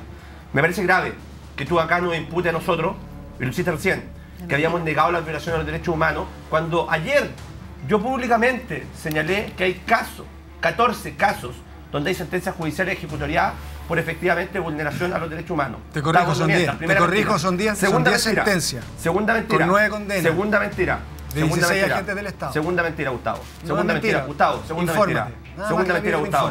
Es muy grave que un abogado venga acá en un panel de televisión a confundir a la opinión pública mezclando conceptos jurídicos como lo son una persona que está imputada, una persona que está formalizada, una persona que está condenada o una persona que está con sentencia judicial ejecutoriada. Eso es muy grave, porque es muy distinto hablar de verdad judicial cuando usted bien sabe, colega, que debería saberlo, porque muchos citan la academia, pero se le van los, los conceptos básicos de abogado, que cuando hay sentencia judicial ejecutoriada, esa persona tiene la calidad de delincuente. ¿Cierto? Antes no, imputado. Que usted mezcle lo que son informes de derechos humanos, que son muy valiosos por lo demás, y hay que respetarlo en ese contexto, como por ejemplo la Son los mismos que realiza negaban el su sector, de Derechos son los Humanos, mismos que negaban su sector y que constituyeron el informe Rettig y el informe. Valech. Gustavo, no porque me interrumpa, va a ser usted tener mejor argumento, porque ya saliste muy trasquilado, entonces tranquilito. Esa mentira de intentar confundir a la opinión pública a un abogado, yo no se la puedo dejar pasar. Al menos nosotros en la Escuela de Derecho de la Universidad de Chile, cuando estudiábamos Derecho Procesal con Bofilio López, nos enseñaban que este principio era bastante importante. No, no, no, sé cuál fue su formación, colega. Tercera mentira. Enrique Tercera Curi, mentira. Enrique Tercera Curi, no sé mentira, si lo colega. conoce. Los tipos penales no se pueden confundir. Y esto es muy, muy importante porque ante tipo penal distinto, principio de legalidad y taxatividad, para que una persona sea condenada, ese delito tiene que ser efectivamente que se encuadra dentro de la tipificación legal. Colega, apremio ilegítimo, tipificado en un artículo, usted me lo está confundiendo con quiero- abusos sexuales. quiero- Colega, eso, eso es muy, pero muy... precisar- porque una cosa es que usted quiera defender a su presidente, que le corresponde, amigo, está bien, yo se lo entiendo. Yo en su lugar lo haría, haría lo mismo, pero con mejores argumentos. Pero yo no te puedo gustar, no te puedo aguantar aquí, Gustavo, que durante dos programas consecutivos hayas caído en mentiras Gustavo, y en falsas imputaciones. Eh, Euge, te quiero preguntar, ¿tú tienes, tú tienes eh, la Tres. declaración o no de la ministra Tres. Orellana? Ah, pero, pero la de- ¿podemos verla, escucharla? Sí, sí, pongámosla, por favor, a ver. A ver. Me, me imagino que la puede escuchar, porque si tiene videos con audio, Euge, ¿no? Ya, a ver. Póngala al principio, eso sí, a ver. Yo quiero hablar también. Ah, estamos con un problema. Ya, arréglatelo para después escucharlo. cerrar, y Eh, bajo ese Gustavo, argumento, Gustavo, después solo va a Gonzalo. cerrar. Pues, llegamos a intro- bajo ese argumento, que la verdad formal y la, y la verdad material, bueno, si no respetamos el principio de inocencia, ¿se te olvida que tu presidente tiene una acusación de acoso? Ah, chuta. Ahí no vale, ¿cierto? Ahí no vale. A ver, Gustavo. A ver, yo creo que hay que ser un poco Perdón, serio. Yo no, no voy a caer, no voy a caer en, equivoqué, la- no en es tu la- presidente. en las provocaciones de Francisco.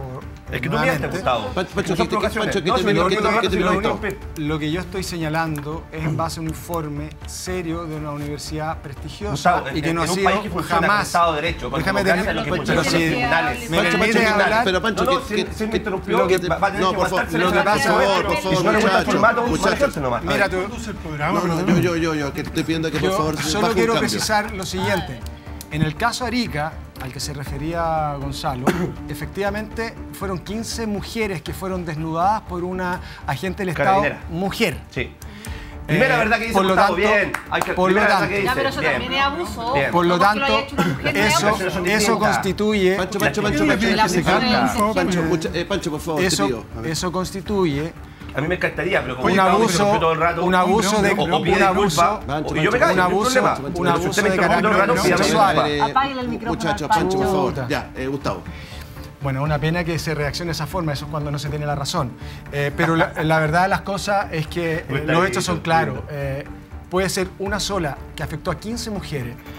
Eh, por lo tanto, eso que está demostrado y documentado da cuenta de lo que dijo el presidente ayer es cierto. No olvidemos eso. Él lo único que dijo es para que no se repitan violaciones a los derechos humanos y enumeró varios tipos. El abuso sexual está documentado en el caso Arica y existen otros casos en el sur. Ahora, lo único que yo estoy diciendo es que una de las razones por las cuales no se ha podido formalizar a muchos de los agentes del Estado es porque la prueba fundante para aquello, adivinen en manos de quién está. En manos de Carabineros, que son los videos. Lo mismo que pasó en el caso Catrillanca, el mismo que pasó en el caso Catrillanca, se repite en este caso como modus operandi, como forma de actuar. Y en este informe existe un, un- un- un capítulo bien interesante respecto de la responsabilidad de los altos mandos, como por ejemplo que siguieron comprando balines, los mismos que causaron mutilaciones a muchos de nuestros compatriotas, después de que, la, después de que, se, después que se sabía que se habían cometido este tipo de mutilaciones y después que se, había- se, se les había ordenado no hacerlo. Es más, los siguieron utilizando. Entonces, lo único que dice este, este informe de, de- de Derechos Humanos de la Universidad de Portales, lo único que hace es constatar documentadamente, y, y por favor, es importante, documentadamente. No son palabras al voleo, no son palabras al aire. Iván. No, yo quiero decir dos cosas solamente muy cortas, Gerardo. Con todo lo que tú indicas, eh, cuesta creer que el presidente de la República no le haya pedido la renuncia al general director de Carabineros, al general de inteligencia y a todo el alto mando carabinero en, en el acto. Y si no lo ha hecho es por dos razones. Primero, porque está blufeando, o segundo, porque es cómplice. Yo creo que quiero pensar que es porque está blufeando o que no tiene toda la información. Esa es la primera cosa. Y la segunda corta. Me llama la atención que estemos discutiendo 20 minutos sobre eventuales delitos cometidos por policía y no sobre los saqueos, sobre la A eso vamos violencia. Sí. Que hemos visto y que lamentablemente tu coalición del Frente Amplio apoyó con este indulto impresentable a los llamados presos de la revuelta, que yo creo que también sería bueno que el presidente Boric lo retirara a la brevedad posible, porque la señal que está dando después del día de infierno que vimos ayer y que resulta que en ciertos contextos los delincuentes sí pueden saquear, sí pueden quemar, dije, sí pueden, sí pueden agredir otras personas. Mira, y hay que retirar esa ley. Ya, no sé eh, qué piensas tú. Muchachos, tengo, tengo al alcalde de Puente Alto, Germán Codina. Germán, ¿cómo estás? A ver, se, se- se- se- se- se me cayó. A ver. Gonzalo, ¿cómo estás tú? Ahí está. ¿Cómo están chicos por ahí? Bien. Alcalde, ¿estás al ¿Me aire? Sí, ¿cómo estás? Hola, hola, hola Gonzalo. No sé si la toma está buena. Sí, está bien, está bien. Instalé de manera un poco artesanal. No, no. Aquí en una zona de Vizcacha, estábamos en una actividad, pero quería conectarme con ustedes, que me estaban felicitando. Feliz de estar con ustedes. Oye, alcalde, a ver, cuéntanos un poquito cómo, cómo se vivió la noche y parte de la madrugada también en Puente Alto. Mira, fue una noche muy compleja.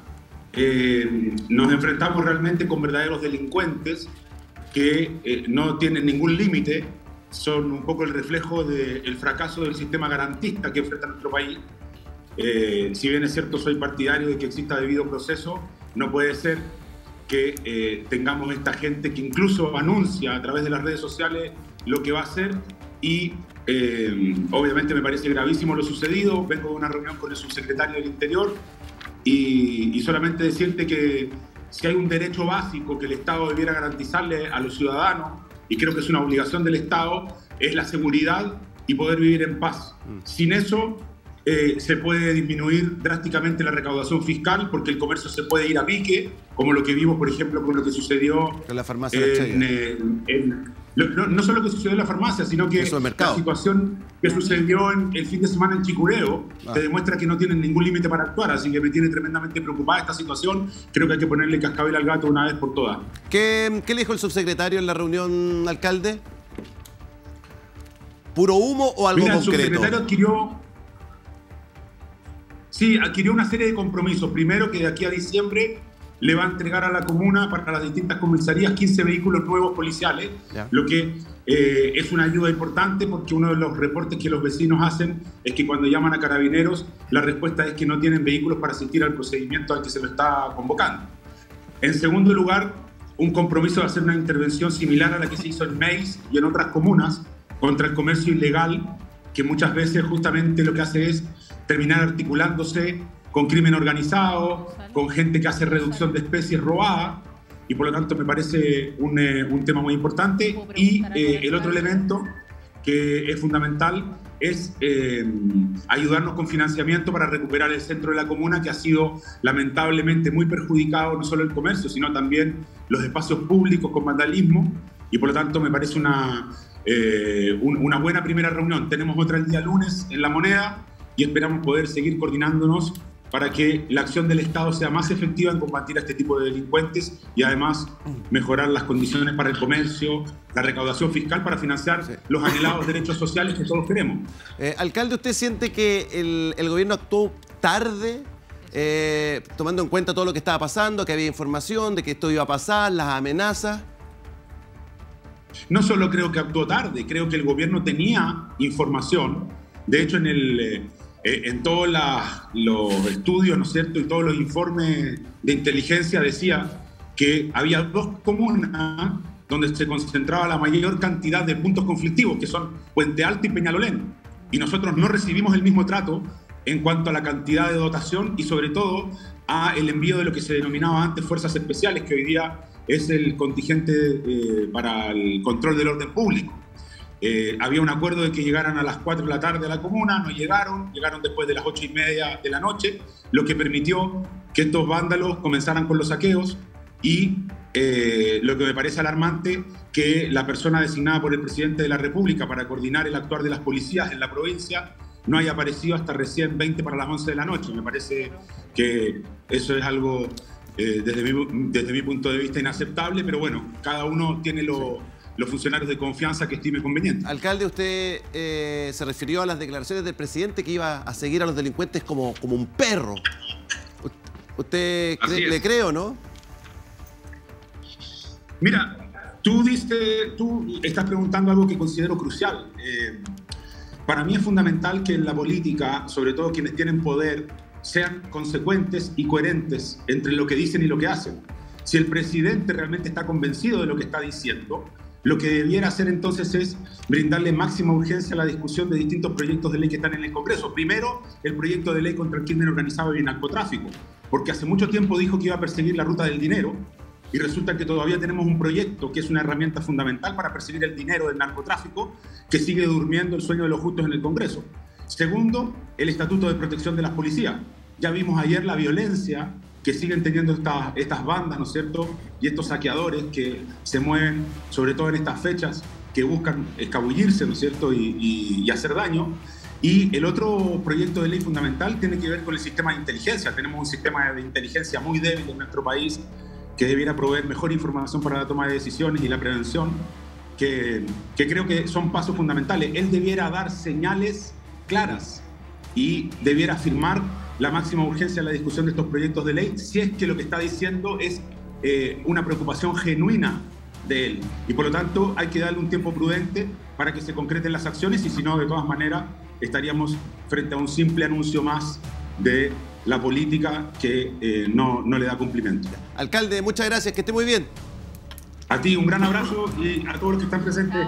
Cuídense Ya, mucho. Ahí estamos con el alcalde de Puente Alto, Germán Codina. Magdalena Mervilá, eh, el 18 de octubre. ¿En qué se ha transformado esta fecha? En una cueca en pelota, pero es que hace rato estamos bailando cueca en pelota en este país. Parece que la cueca brava es algo que gustaba mucho.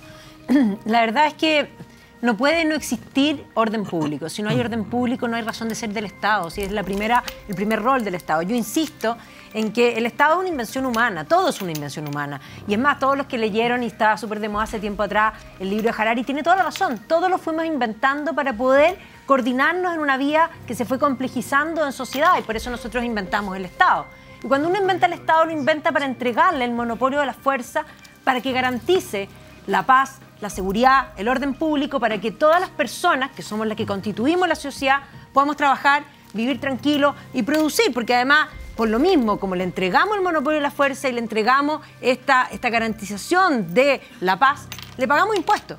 Y le pagamos impuestos, yo insisto en ese punto que ahí hay un tema súper importante, porque nosotros consideramos que, que, porque sí hay que pagar impuestos y que el Estado es como, es más, esa, esa gran falacia hegeliana que el Estado somos todos, que nos tenemos que entregar y fundir en él. No, no, no. El Estado es nuestro primer servidor. Y nosotros no somos, en el fondo, no estamos no solo no al, al servicio del Estado ni a los pies del Estado. El Estado, hay una reciprocidad. En toda relación tiene que haber una recipro- reciprocidad. Y si aquí el Estado no cumple y no da al ancho, yo el otro día lo dije, es justo preguntarse, ya que hablábamos del derecho a rebelión, la rebelión es algo importante, sobre todo cuando se, se torna algo injusto. Si tú vas y te compras un auto, vas y pagas en la compraventa el auto, y el de la compraventa te dice, es que no te lo voy a entregar. ¿Tú qué harías? Lo demandas y exiges tu dinero de vuelta. Bueno, aquí pasa exactamente lo mismo. Es tremendamente grave lo que está sucediendo. O sea, si no dan el desde, y ahí hay un problema porque los que nos están gobernando hoy día han pololeado con la violencia y de alguna manera en el jueguito revolucionario que fueron eh, incrementando y haciendo crecer, para hacerse del poder, ellos no, no están sirviendo con el Estado, sino que ellos están sirviendo del Estado. Y es más, nos están abusando a nosotros. Entonces, cuando hablamos de abusos, los abusados somos todos aquellos que estamos pagando impuestos y que nos tenemos que guardar no solo el 18 de octubre, sino que muchos otros días. Normalizamos incluso los viernes. O sea, ese punto que el ministro te dice es que no vaya los viernes. No, no, no. Nosotros debiésemos poder tener la libertad de poder circular y poder vivir en paz en un país en todas partes. ¿Viajas el próximo fin de semana largo? No olvides llevar tu auto donde mis amigos de Otiebre Motors. Viaja tranquilo. Lleva tu auto a algunas de las tiendas Otiebre para revisión de seguridad. Frenos, suspensión de neumáticos y tren delantero. Si mencionas, escúcheme bien, si mencionas el programa Sin Filtro, esta revisión es completamente gratis. Sí, gratis, agendándola previamente en www.motors.cl. No digas que no te avisamos. www.motors.cl. Ya lo sabes si quieres ser parte de la familia de los auspiciadores de Sin Filtro. Hola arroba sinfiltros.cl. Ahí te- Los cuatro sujetos que están tratando de forzar la entrada, retírense, carabineros va al lugar. Tranquilos, tranquilos, tranquilos, tranquilos, por favor, no se preocupen, no pasa nada. Ellos creían que nadie los estaba observando, pero se equivocan porque así funciona el sistema de seguridad disuasivo de Te Observo, nuestro auspiciador que nos acompaña y da seguridad con monitoreo de cámaras en tiempo real protegiendo empresas, industrias y hogar. Cañón de niebla, control vehicular, control de acceso y protección de terreno, cobertura en todo Chile. Potencia la seguridad de tu empresa con Te Observo. Conoce más en www.teobservo.cl. Ah, y mis amigos de todo taller de la cuarta región, prestigio y confiabilidad en importación, distribución y comercialización de herramientas, carros de arrastre y equipamiento industrial, traído todo desde Estados Unidos. Las mejores marcas del mercado con stock permanente y precios súper competitivos en herramientas, equipamiento para la industria, taller y para tu hogar. Envío a todo el territorio nacional con 11 años de experiencia desde la cuarta región para todo Chile www.todotaller.cl.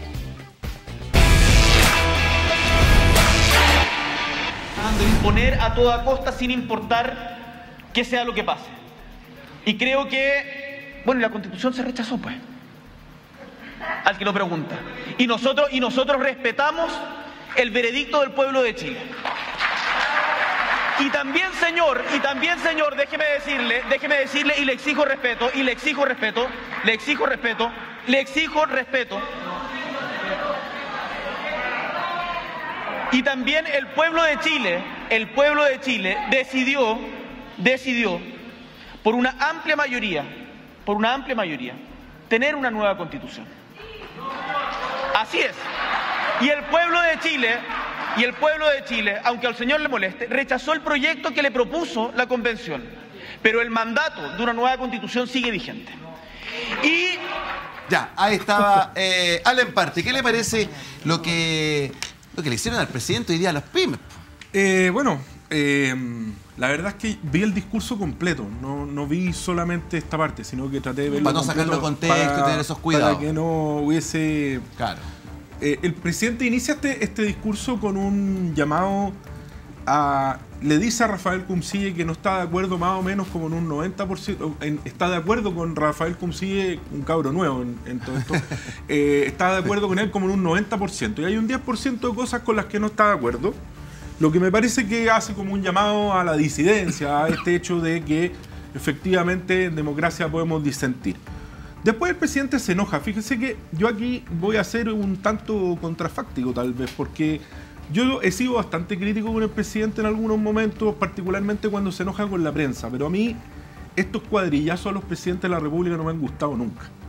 Y no me gustaron antes, no me gustan hoy día y no me gustarán después. Me da lo mismo que sea presidente de la República. Me parece que invitar al presidente de la República para hacer un cuadrillazo del tipo ustedes están de acuerdo con o sin, es de alguna manera ponerlo en una posición. Dice que le hicieron como una encerrona. una un encerrona que no- a mí no me gusta. eh, creo que la reacción del presidente, a diferencia de otros casos donde ha sido particularmente virulento, incluso llegando a ser un tanto violento pasivo, digamos, con algunas periodistas eh, mujeres, creo que en este caso el presidente lo que hace es pedir respeto y no es muy distinto a lo que el presidente Lagos pidió varias veces cuando alguien gritaba desde algún estrado y le decía a mi amigo que se callado porque yo di mi vida para que usted pudiera gritar, pero ahora me escucha. Por lo tanto, creo que son cosas que un presidente finalmente tiene que hacer respetar de su investidura. En ese sentido, no me gustan este tipo de cosas. Ahora, hay ciertas cosas en las que estoy en desacuerdo con el discurso del presidente.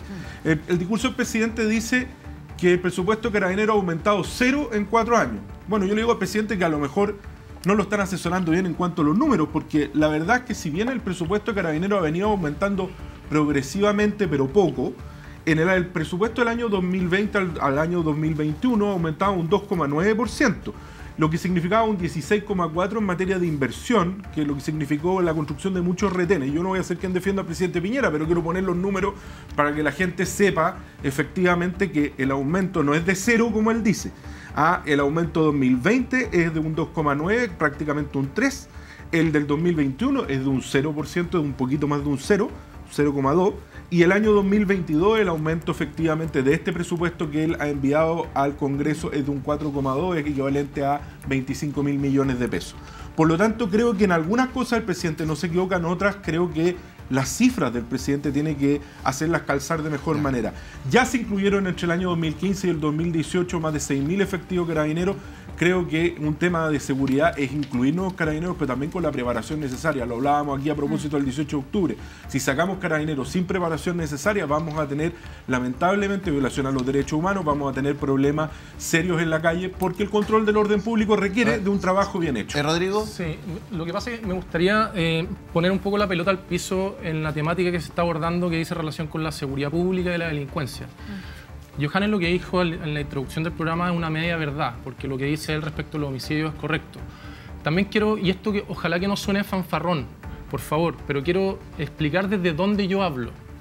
Yo fui jefe nacional del programa de denuncia anónima del Ministerio del Interior que se llama Denuncia Seguro, en Piñera 1, en Bachelet 2, y desde hace seis años me dedico al derecho penal litigando en, a, a nivel nacional en realidad, pero principalmente en Santiago. Conozco a cabalidad cómo es el sistema procesal penal y las cifras de delitos. Y reiterar la empatía con las víctimas. Los homicidios efectivamente están disparados y los homicidios en relación a, a lo, desde que se mide la delincuencia a través de la NUSC y a través de las estadísticas de la Subsecretaría de Prevención del Delito, en 2022 el primer semestre la cifra más alta de la historia, desde que se mide. Pero si nos vamos al robo de casas, es la más baja excepto el 2021. Claro, cambió la modalidad. Si nos, va- no- si nos vamos al robo de vehículos, en la cifra no es la, no es la más alta del primer semestre del 2022, sino que fue el año 2011 cuando tuvimos la cifra más alta. ¿Qué es lo que pasa cuando detienen a un delincuente? Y aquí hay que distinguir eh, lo que se denomina imputado conocido del imputado desconocido. El imputado desconocido es un problema en Chile, en Noruega, en Japón, en Alemania, en Brasil y en todos los países. Es decir, alguien mata a otro y no hubo testigos y nadie ve, hay un 90% de probabilidades de que esa causa se archive. ¿Qué pasa con el imputado conocido? El imputado conocido, cuando le piden prisión preventiva, de cada 10 solicitudes del fiscal, en 9 se lo otorgan. De cada 10 sentencias, 9 son condenatorias. Entonces, cuando hablamos de que el sistema no funciona, lo que estamos diciendo, y es la derivada, es que la gente que dice que no funciona quiere llevar a una sociedad que no sea democrática. Porque el sistema penal funciona y mucho. De hecho, en la academia es transversalmente aceptado que la problemática es lo mucho que otorgamos prisión preventiva, no lo poco que se otorga prisión preventiva. Y esto lo hablo desde la academia, Johannes, no desde, una, desde un programa de YouTube. La academia, discúlpame, pero la academia. Con esto termino, con esto termino. En consecuencia, en consecuencia es sumamente importante poder diagnosticar de forma correcta el fenómeno del delito. porque de forma contraria vamos a estar llevando la, eh, la realización de las conductas para mejorar esto en forma no exacta o inequívoca y eso será peor. Mira, desde la academia, desde la reforma procesal penal, que Chile tiene un sistema garantista. el garantista porque jugaba garantista, no, no solamente porque da garantía, sino porque simplemente, pero de, no, no da garantía a la Si yo te denuncio A ver, discúlpame, tú ¿puedo terminar de hablar? yo Sí, te perdón, dejé terminar de perdón, hablar, entonces perdón, permíteme. Perdón. En Chile, el sistema está diseñado para que aquel que es acusado de un delito tenga todas las garantías. Por supuesto, y está bien que así sea. Bueno, eso es tan bueno que nosotros tenemos gente con 44, 60, 102, 112 detenciones. Tengo una explicación para ello. Bueno, sí, naturalmente que hay una explicación. De la, ca- la academia siempre tiene explicaciones ex- ex post para todos sus fracasos. 112 detenciones y no cumplen cárcel. Nosotros tenemos hasta la primera pena de pena efectiva de, prisión, especialmente en delitos pequeños, pueden suceder, pueden pasar 10 años. Y están todos permanentemente, si es que son condenados, están condenados a pena, eh, ¿cómo se dice esto? De, de, mm, no efectiva. Y eso lo que ha generado es la sensación de impunidad general sobre la cual ha crecido la delincuencia. Más allá de eso, hemos permitido a través de nuestra frontera, sin control, el ingreso de los peores elementos que uno se puede llegar a imaginar. ¿Por qué? Porque resulta que nosotros no sabemos quién entra. Y de la mano de, esa, de ese desconocimiento ha podido entrar gente honesta, sin duda, pero han entrado también personas con muy malas costumbres. ¿Puedo complementar 30 segundos? Si me, permite, me devuelven la palabra después, Sí. encantado. La NUSC mide la victimización y la sensación de inseguridad. La victimización está en 2 de cada 10. La sensación de inseguridad es 9 de cada 10. Y la misma NUSC explica esa disociación de 7-8 puntos. ¿Y cuál es? Noticias de televisión en un 50%. Con esto no quiero darle gravedad al tema de la delincuencia, pero identifiquemos bien cuáles son las causas de ella y cómo se miden y cuál es el impacto que tienen las Disculpa, noticias de ver, televisión sí, en la eh, delincuencia. Déjame, déjame Dale, terminar dale, entonces. que después Pedro. Mira, la victimización, abuelo. la victimización va de la mano fundamentalmente del hecho de que se cometen delitos y la gente se siente insegura porque no solamente lo ve en la prensa, si lo ven en las calles. Si permanentemente se está violando la ley en este país, la gente lo ve, lo ve en sus poblaciones, ve cómo el narcotraficante actúa sí. sin ninguna, sin ninguna represalia.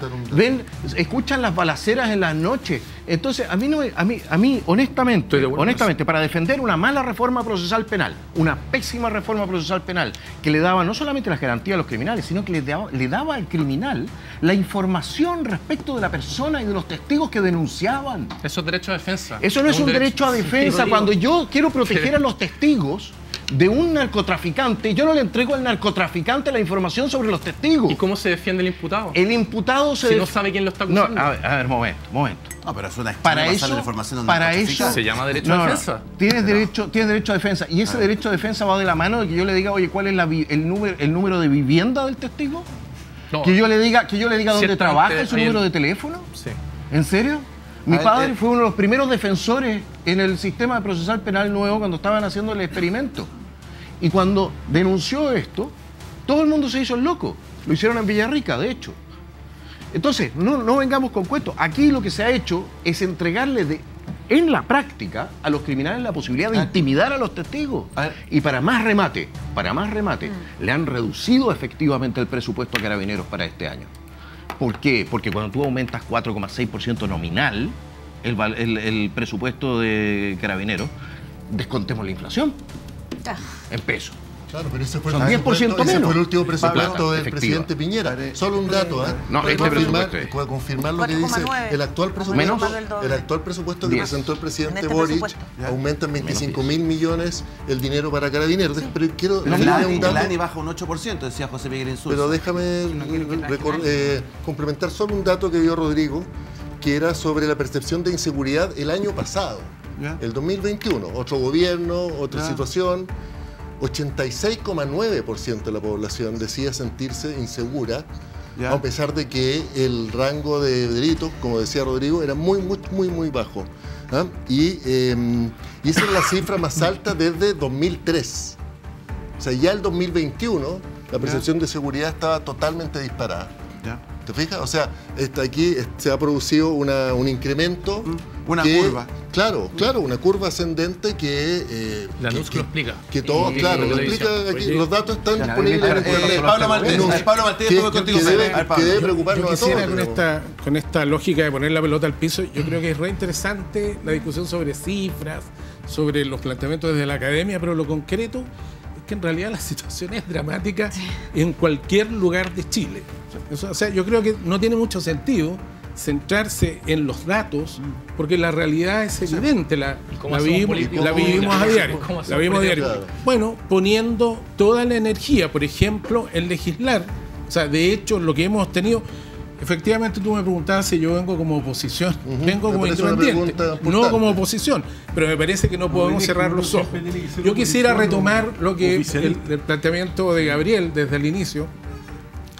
Yo creo que tienen todo el legítimo derecho los concurrentes a esta asamblea a expresar lo que expresan, Ah, no, pero no porque se lo quita. claro, y no me parece que sea un despropósito ni una falta de respeto al presidente de la República, me parece obvio de perogrullo que si el presidente de la República va a esta organización que la dirige, es un señor golpista, es evidente, es un señor que tiene una participación política activa eh, con consecuencias catastróficas para Chile, en 1900 la- hasta el 73, me parece obvio lo que va a ocurrir.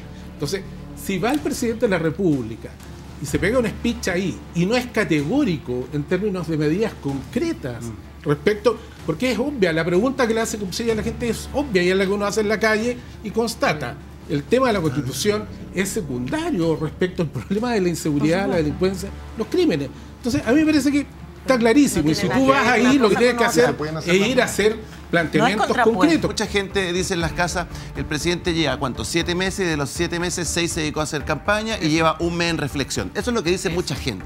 O sea, la gente está perdiendo la paciencia y eso es cierto. La gente está perdiendo la paciencia y querer un presidente metido O sea, no de se puede lleno en los temas importantes. A ver, Ah. Magdalena. A ver, Pero yo- uno puede yo- tomar yo las cosas con- desde dos Yo ángulos. estoy con Perdona, Cecilia con respecto a que el problema, eh, el problema inicial de todo es la pérdida y la falta de autoridad, el respeto a la autoridad. O sea, si a mí me llevan para atrás, esto es desde María Música tirándole el vaso. Yo lo he dicho muchas veces que creo que ese es el ícono del momento y nadie hizo nada. Y era la ministra y aquí O importa sea, el nada. golpe de Estado Eh, o sea, eh, no, estamos fue hablando de... más importante que el vaso de agua. Con, No, con no, todo no, no, el momento. Ya. Estamos hablando de lo que está sucediendo. Pérdida de autoridad Estamos de un hablando gobierno electo. hoy día. Y es más, toda la impunidad que tuvimos el 18 de octubre. a ver, eh, recién la, la celebración o conmemoración o como lo quieran llamar, el 18 de octubre se convirtió en el día de furia en el que cualquiera puede hacer cualquier cosa, en que todo está permitido, o sea, a tal punto que toda la gente normal nos guardamos antes. O sea, hemos cambiado nuestros hábitos, ese día especial, donde se rompen las barreras y donde todos pueden hacer lo que quieran, nos guardamos.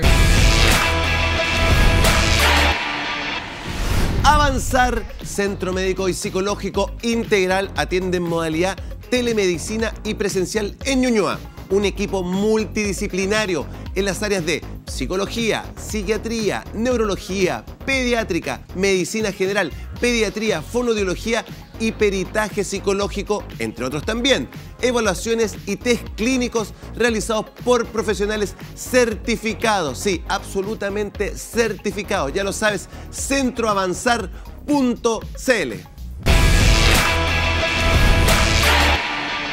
Bueno, saludamos cariñosamente a nuestros amigos de Farmacia Socorro, una farmacia talquina con una tradición de 38 años en la ciudad. Un completo stock de excelente atención y siempre tratando de ofrecer los precios más bajos del mercado. Farmacia Socorro, las farmacias de Talca. Búsquela en www.farmaciasocorro.cl. Pronto en las rastras también. Y ojo, reparto a domicilio en Talca por compras al teléfono o WhatsApp o también por su e-commerce. Ya lo sabe, Farmacia Socorro en el local o también entregas a domicilio.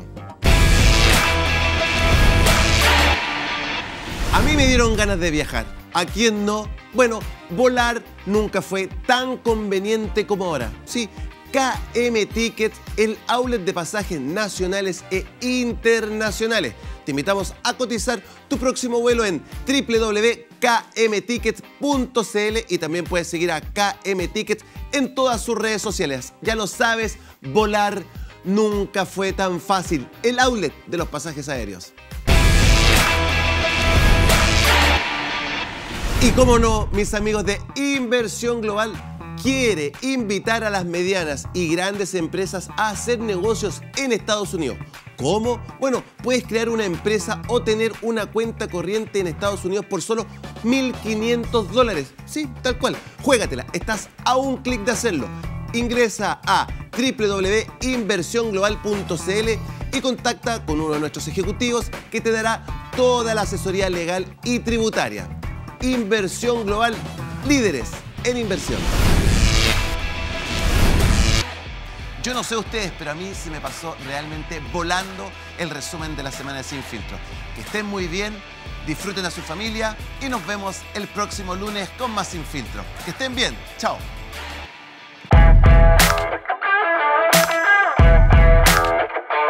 Revestimientos Revestic. Piensa inteligente, construye inteligente. Conoce más en revestic.cl. Otiebre Motors, servicios automotrices, experiencia y tecnología al servicio de tu vehículo desde 1979. Más información en www.motors.cl. Edisur, la importancia de leer. Encuéntranos en www.edisur.cl y en nuestro outlet en Santiago Centro. Rediseña y protege tu ambiente con las cortinas roller, persianas y toldos exteriores de Cortinalia. Venta en modalidad online y presencial en todo Chile. Visita www.cortinalia.cl. Potencia la seguridad de tu empresa con Te Observo. Conoce más en www.teobservo.cl. Con Dumint, transforma el proceso de cobranza en tu empresa y recibe el pago de tus facturas a tiempo. Conócenos en www.dumint.com. Todo taller, importación y comercialización de insumos industriales desde la zona norte para todo Chile. Encuéntranos en www.todotaller.cl. Farmacia Socorro, la farmacia talquina que dan confianza y tranquilidad a Talca y sus alrededores. Encuéntranos en www.farmaciasocorro.cl. Viaja dentro y fuera de Chile a los mejores precios con KM Ticket. Conoce más en www.kmticket.cl. Con inversión global puedes crear tu empresa y tener cuenta corriente en Estados Unidos por solo 1.500 dólares. Ingresa www.inversionglobal.cl. Avanzar, Centro Médico y Psicológico Integral. Atiende en modalidad telemedicina y presencial en la comuna de Ñuñoa. Conoce más ingresando a www.centroavanzar.cl.